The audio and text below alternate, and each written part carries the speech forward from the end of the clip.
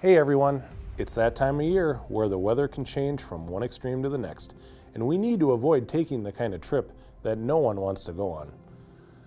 According to the CDC, about 1 million Americans are injured every year falling on ice and snow, and we Minnesotans have a better chance than most.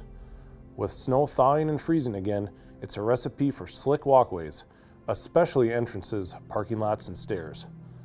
First off, be conscious and cautious of ice and walk small, using your arms to balance. Select proper footwear, like boots, or use ice and snow grips. Be mindful of where you park your car and be careful getting out.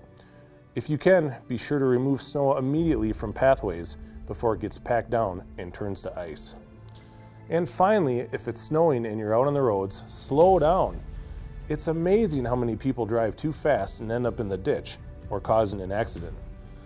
Let's play it safe and stay safe and healthy. We'll see you next time.